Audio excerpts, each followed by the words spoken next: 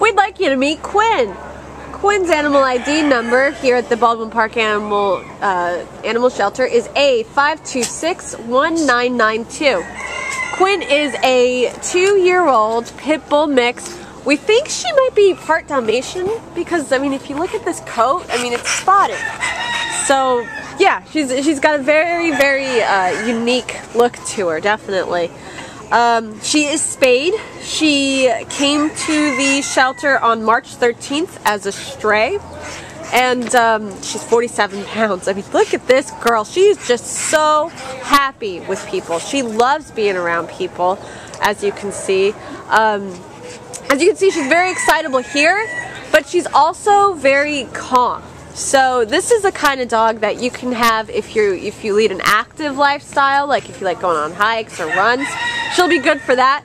But at the same time, because she is so calm, she would also make a great dog for someone that just likes to chill in front of the TV and watch Netflix all day.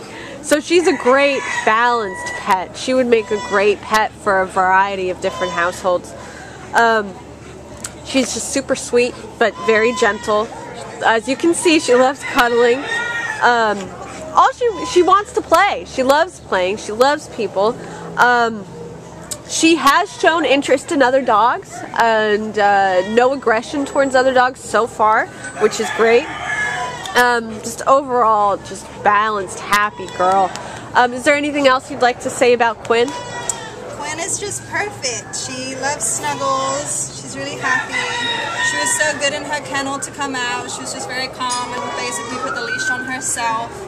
And every person we've gone past, she just wants to meet and say hi. But she doesn't jump up. She's not um, too overly excitable.